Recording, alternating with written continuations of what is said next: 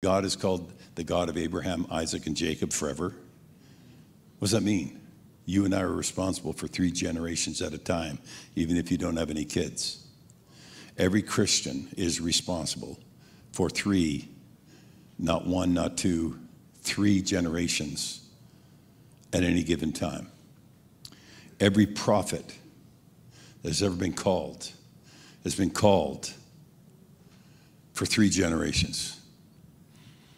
One of the greatest modern, modern prophets we had was Bob Jones.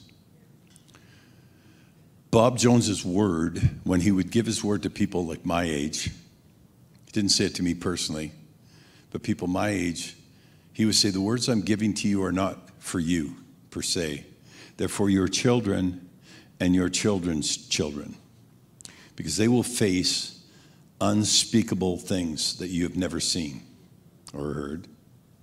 And he said, You need to prepare them and if we were to prepare them, how would we prepare them? By knowing the Bible?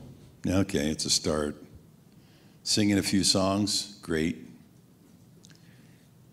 Knowing their authority? Even better.